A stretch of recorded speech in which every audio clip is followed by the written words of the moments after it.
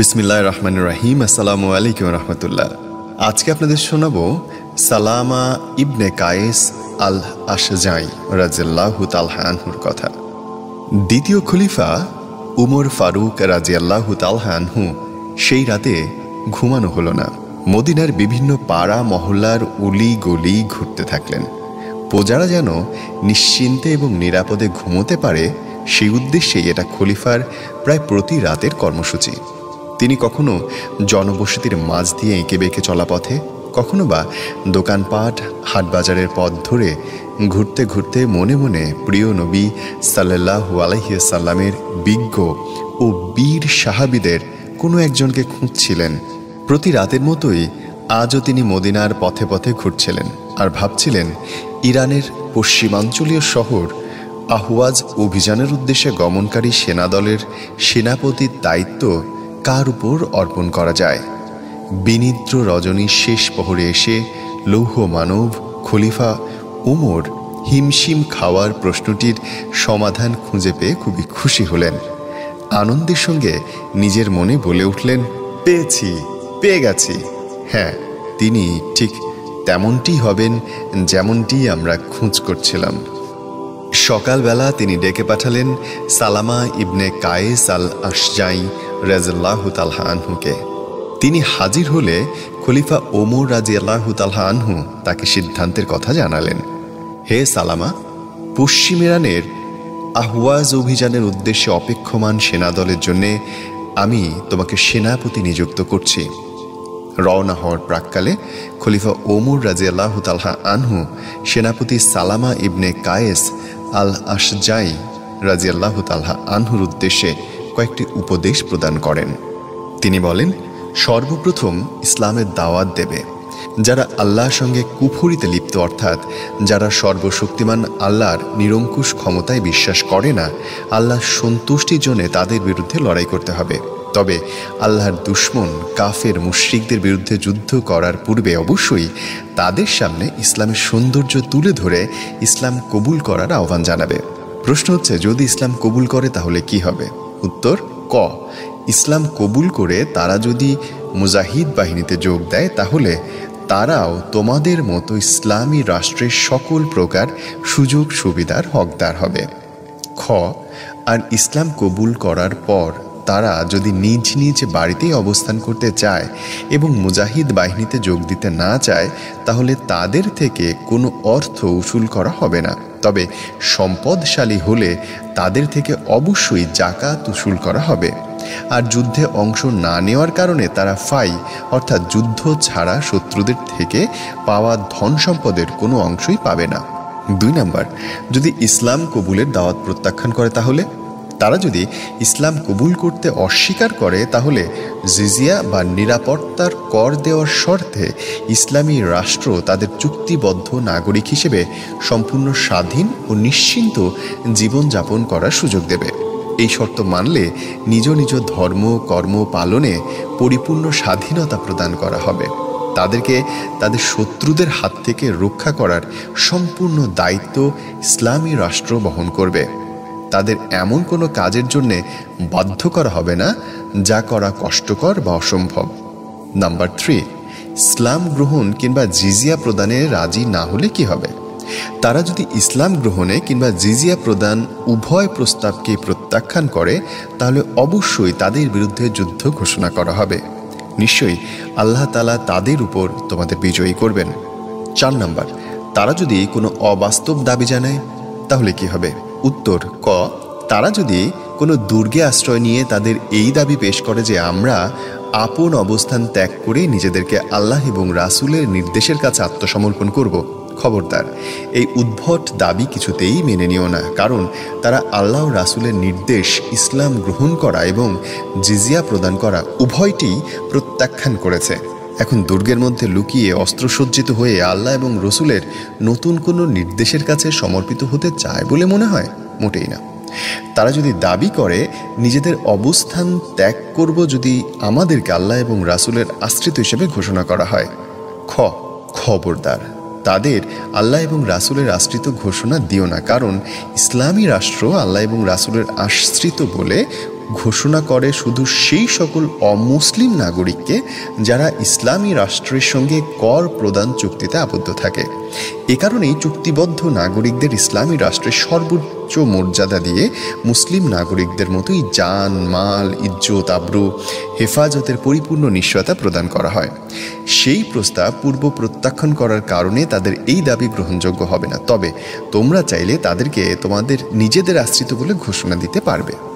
পাঁচ নম্বর, তোমরা যুদ্ধে বিজয়ী হলে কি?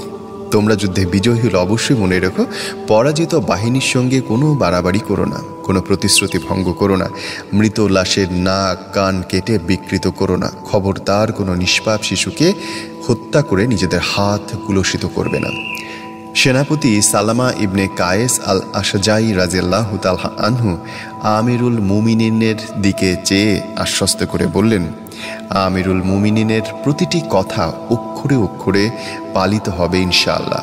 এরপর খলিফা উমর রাজিয়াল্লাহ তালহা আনহু গভীর আবেগের সঙ্গে সালামার দুই হাত জড়িয়ে ধরলেন। তার সফলতার জন্য দোয়া করে, উষ্ণ আলিঙ্গন করে তাকে বিদায় জানালেন।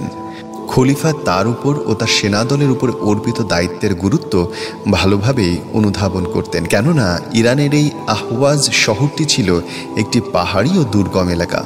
বহু দুর্ভেদ্য, দুর্গ পরিবেষ্টিত। বসরা পারস্য সীমান্তের মাঝখানে অবস্থিত দুর্গম, দুর্লঙ্ঘ পাহাড়ি আহওয়াজ শহরের অধিবাসীরাও ছিল কুর্দিদের চেয়ে দুর্ধর্ষ এবং দুর্বিনীত এক জাতি। সুদূর প্রসারী সমর কৌশল ও রাষ্ট্রীয় নিরাপত্তার বিচারে এই অঞ্চলটির গুরুত্ব ছিল অপরিসীম। মুসলিম জাতির সামনে এই শহর দখল করা ছাড়া আর কোনো বিকল্প পথ খোলা ছিল না। কেননা, এখান থেকেই পারস্য সেনারা মুসলিম অধ্যুষিত বস্ত্রা নগরীর আক্রমণের সুযোগ পাচ্ছিল, যা প্রতিরোধ করা ইসলামী রাষ্ট্রের জন্য অপরিহার্য হয়ে উঠেছিল। তাছাড়া, পারস্য সেনারা বর্ষাস নগরীকে সেনা সাউনি হিসেবে ব্যবহারেরও পরিকল্পনা করছিল, যার পরিণতিতে গোটা ইরাকের শান্তি এবং নিরাপত্তা বিঘ্নিত হয়ে পড়ছিল।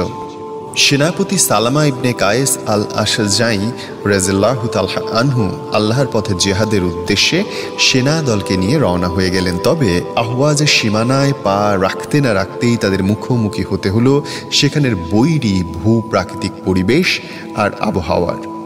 বিশাল সেনাদলকে কখনো দুর্লঙ্ঘ, উঁচু উঁচু পাহাড়, আবার কখনো দুর্গম গিরিপথের বদ্ধ জলাশয়ের নোংরা কাদা অতিক্রম করতে হলো। পাহাড়, জলের বিষধর সাপ, বিচ্ছুর সঙ্গে লড়াই করে, সীমাহীন কষ্ট সহ্য করে তাদের এগোতে হলো। ভূ প্রাকৃতিক প্রতিকূলতার চরম কষ্টের মুহূর্তে অভিজ্ঞ ও চৌকস সেনাপতি তার সেনাদের পাশে এসে দাঁড়ালেন। ইসলামের বিশ্ববিজয় চেতনা জেহাদি জাবরার তাদের উজ্জীবিত করে তোলে। মা মুরগি যেমন ঝড়, ঝাপটা, শত্রুর ভয়ে আতঙ্কিত ছানাদের ডানা মেলে আশ্রয় দেয়, একইভাবে দক্ষ চৌকসী সেনাপতি সেনাদলের কষ্ট এবং ভীতি দূর করার কার্যকর ব্যবস্থা গ্রহণ করেন। তিনি জান্নাতের স্বপ্নীল ভুবনে অপূর্ব নাজ নেয়ামতের চিত্র তাদের সামনে তুলে ধরেন। আল্লাহর পথে বরণ করা সকল কষ্টের জান্নাতি বিনিময়ের বিশদ বিবরণ তুলে ধরেন। তার জাদুময়ী বক্তব্য শুনতে শুনতে সেনারা জান্নাতের জন্য ব্যাকুল হয়ে ওঠে। ফেলে আসা কষ্টের স্মৃতিগুলো হয়ে ওঠে জীবনের শ্রেষ্ঠতম মধু স্মৃতি। দুর্গম, দুস্তর পাহাড়গুলোকে এখন মনে হয় সমতল, মরুভূমির মতোই সুন্দর মসৃণ। সেনাপতি, পথের প্রতিটি বিরতিতেই সেনাদল সাহস এবং মনোবল উজ্জীবিত রাখার জন্য তাদের সামনে প্রাঞ্জল আলোচনা তুলে ধরেন। কোরআনের বাণী এবং জিহাদের আলোচনা শুনিয়ে তাদের উজ্জীবিত করে তোলেন। এই সকল কারণেই সেনারা পথের ক্লান্তি এবং দুঃখ কষ্টের স্মৃতি ভুলে নতুন করে ইসলামী চেতনায় আর নব উদ্যমে জিহাদি জজবায় ঝুলসে ওঠেন। সেনাপতি সালামা ইবনে কায়েস আল আশজাই রাজিয়াল্লাহ তালহা আনহু খলিফাতুল মুমিনিন ওমর ফারুক রাজিয়াল্লাহ তালহা আনহুর নির্দেশ পরিপূর্ণরূপে পালন করলেন। আহওয়াজবাসীদের সঙ্গে সাক্ষাৎ হলে তিনি সর্বপ্রথম তাদের দিন ইসলাম কবুল করে দুনিয়া এবং আখিরাতের কল্যাণ নিশ্চিত করার বিনীত আহ্বান পেশ করলেন। সঙ্গে সঙ্গে তারা মুসলিম সেনাপতির আহ্বান প্রত্যাখ্যান করল। বাধ্য হয়ে সেনাপতি তাদের সামনে দ্বিতীয় বিকল্প তুলে ধরলেন। ইসলামী রাষ্ট্রকে জিজিয়া দিয়ে চুক্তিবদ্ধ নাগরিক হিসেবে জীবনযাপন করো। আহওয়াজবাসীরা মুসলিম সেনাপতির এই প্রস্তাবকেও দর্পের সঙ্গে প্রত্যাখ্যান করল। মুসলিম জাতির সামনে আর কোনো বিকল্প পথ খোলা না থাকায় অবশেষে তারা আল্লাহর কাছে সর্বোত্তম প্রতিদানের আশায় জিহাদ ও যুদ্ধের ময়দানে ছাপিয়ে পড়ল। তাওহিদ ও শিরকের পতাকাবাহী ভিন্ন আদর্শের বিপরীতমুখী দুটি দলের মাঝে শুরু হলো তুমুল যুদ্ধ।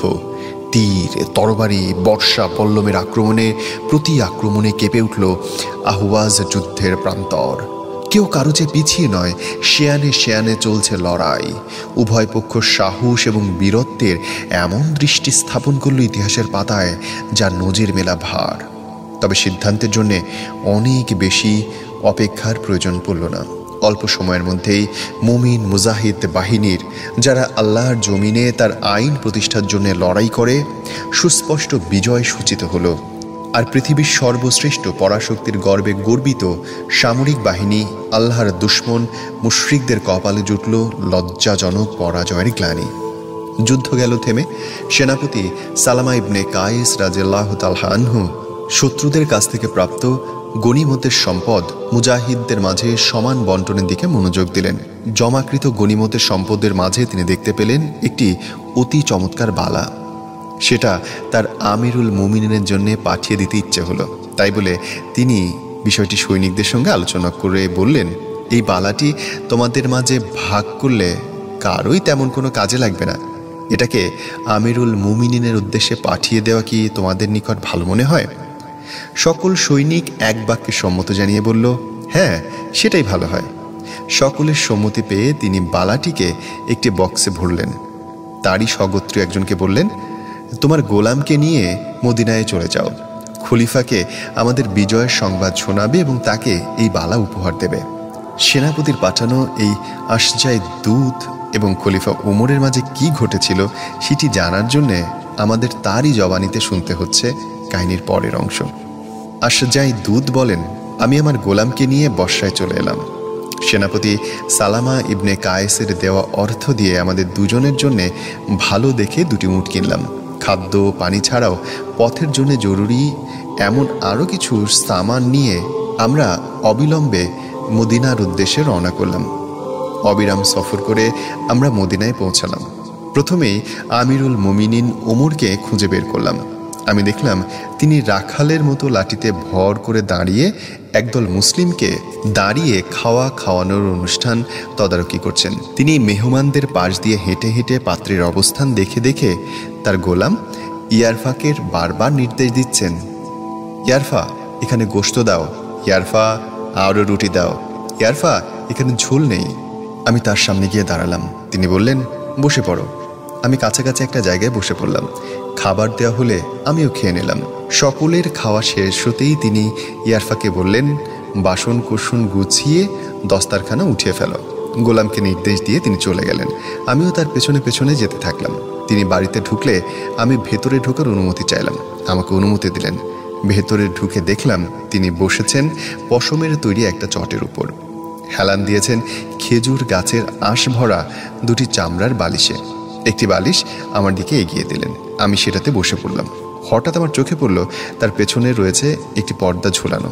সেদিকে ঘুরে তিনি বললেন, কুলসুমের মা, আমাদের দুপুরের খাবার পাঠাও। আমি মনে মনে ভাবলাম, আমিরুল মুমিনিনের বিশেষ খাবার না জানি কত উন্নত মানের হবে, কিন্তু অবাক হয়ে দেখলাম, একটি শুকনো রুটি, তাতে তেল আর লবণের একটি শক্ত দলা, যা গুঁড়ো করাও হয়নি। তিনি আমার দিকে তাকিয়ে বললেন, শুরু করো। আমি তার কথা রাখার জন্য সামান্য একটু খেলাম, কিন্তু তাকে দেখলাম ভারী তৃপ্তি নিয়ে খাচ্ছেন। সারা জীবনে আমি এমন সাধারণ খাবার এতটা তৃপ্তির সঙ্গে কাউকে খেতে দেখিনি। রুটি খাওয়া শেষ করে তিনি আবার ভেতরে জানালেন, খাওয়া শেষ হলো, এবার পানি বা শরবত কিছু পাঠাও। ভেতর থেকে জবের ছাতুর শরবত পাঠানো হলো। আমাকে প্রথমে খেতে বলায় আমি মাত্র এক ঢোক খেয়েই বুঝে গেলাম, এটার চেয়ে আমার বাড়িতেই বেশি স্বাদের এবং বেশি উন্নত মানের ছাতুর শরবত বানানো হয়। তিনি আমার কাছ থেকে এই ছাতুর পাত্রটি নিয়ে অত্যন্ত তৃপ্তির সঙ্গে পান করলেন। তারপর প্রাণ খুলে শুক্রিয়া আদায় করে বললেন, সকল প্রশংসা সেই মহান আল্লাহর, যিনি পেট ভরে পরিপূর্ণ তৃপ্তির সঙ্গে পানহার করালেন। এইবার আমি তাকে বললাম, আমিরুল মুমিনিন, আমি আপনার কাছে সালামা ইবনে কায়েসের বার্তা নিয়ে এসেছি। তিনি বললেন মার হাবা মার হাবা সালামা ইবনে কায়েসকে এবং তার বার্তাবাহককে। বলো, মুসলিম বাহিনীর খবর কি? তারা কেমন আছে? আমি বললাম, আমিরুল মুমিনিন, যেমন কামনা করে থাকেন, মুসলিম বাহিনী তেমনই আছেন। আল্লাহর মেহরবানিতে তারা নিরাপদে আছে এবং শত্রু বাহিনীর বিরুদ্ধে বিশাল জয়লাভ করেছে। এইভাবে বিজয় সংবাদ সহ সেনাদলের সকল খবর তার কাছে বিশদভাবে বর্ণনা করলাম। সকল সংবাদ শোনার পর তিনি খুবই বিনয় এবং ভক্তির সঙ্গে মহান আল্লাহর প্রশংসা করে বললেন, সকল প্রশংসাই কেবল মহান আল্লাহর জন্যে, তিনিই দাতা। তিনিই মেহেরবান। শত্রুদের পরাজিত করে মুসলিম বাহিনীকে বিজয়ী করাটাও একমাত্র তারই অনুগ্রহ। তিনি জিজ্ঞেস করলেন, তুমি কি বসরায় গিয়েছিলে? আমি বললাম, জি আমিরুল মোমিনিন, আমি বসরা হয়ে এখানে এসেছি। বসরার মুসলমানদের অবস্থা কেমন দেখছ? আমি বললাম, আলহামদুলিল্লাহ, সেখানে মুসলিম জনসাধারণ বেশ ভালো আছে। দ্রব্যমূল্য কেমন সেখানে? আমি বললাম, একদমই সস্তা সব কিছু তাছাড়া বাজারে সব জিনিসের প্রচুর আমদানিও। গোস্তের আমদানি এবং দরদাম কেমন দেখলেন? গোস্ত ছাড়া তো আরবদের মেরুদণ্ডই ঠিক থাকে না। বাজারে প্রচুর গোস্তের আমদানি দেখেছি এবং বিক্রিও হচ্ছে খুব সস্তা দরে। আলোচনার এই পর্যায়ে এসে তিনি আমার হাতে সেই বালার বক্সটার দিকে তাকিয়ে জানতে চাইলেন, তোমার হাতে এটা কি? আমি একটু বিশদ বর্ণনা করলাম। শত্রুবাহিনীর উপর আমাদের বিজয় নিশ্চিত হয়ে গেলে আমরা গণিমতের মাল, সম্পদ একত্রিত করে ফেললাম। আমাদের সেনাপতি সালামা ইবনে কায়েস সেখানে একটি অতি মূল্যবান বালা দেখতে পেয়ে বললেন, এই বালাটা যদি তোমাদের সকলের মাঝে বন্টন করা হয়, তাহলে কারও ভাগেই তেমন কিছু থাকবে না। এর চেয়ে বালাটি আমিরুল মৌমিনের জন্য হাদিয়া স্বরূপ পাঠিয়ে দিলে কেমন হয়? সেনাপতির প্রস্তাব মেনে সকল সৈন্য এক বাক্যে বলেছিল, খুবই ভালো হয়। এই বিবরণটি দিয়ে বালাটি আমি তার হাতে তুলে দিলাম। খলিফা বক্স খুলে বালাটি। খলিফা বক্স খুলে বালাটির অপূর্ব কারুকাজের উপর চোখ পড়া মাত্রই ভীষণ রাগে নিজের জায়গা থেকে লাফে উঠলেন। গর্জন করে উঠে বক্স সমেত বালাটি সজোরে জমিনের উপর ছুঁড়ে মারলেন। চুনি পাথরগুলো ডানে বাঁয়ে ছড়িয়ে ছিটিয়ে পড়ল। ঘরের ভেতরের মহিলারা দৌড়ে পর্দার কাছে ছুটে এলো তারা ভেবেছে আমি খলিফাকে হত্যা ষড়যন্ত্র নিয়ে এখানে ঢুকেছি। তিনি ভীষণ রেগে আমাকে ছড়িয়ে ছিটিয়ে পড়া সকল পাথরগুলো তাড়াতাড়ি গুছিয়ে নেওয়ার নির্দেশ দিলেন। আর গোলাম ইয়ারফাকে বললেন, একে খুব জোরে জোরে পেটাও। খলিফার নির্দেশে আমি চুনি গোছাতে থাকলাম, আর গোলাম ইয়ারফা তারই হুকুমে আমাকে পেটাতে থাকল। একটু পরেই তিনি আমাকে বললেন, জলদি এখান থেকে বিদায় হও। প্রশংসা পাওয়ার উপযুক্ত কোনো কাজ তুমি করনি। তুমিও নও, যে তোমাকে এখানে পাঠিয়েছে সেও নয়। আমি মিনতি জানিয়ে বললাম, আমরা এখনই আহওয়াজের উদ্দেশ্যে রওনা হয়ে যাব। আমাদের দুটো উঁট দিতে বলুন। ইয়ারফা আমাদের উঁটগুলো কেড়ে নিয়েছে।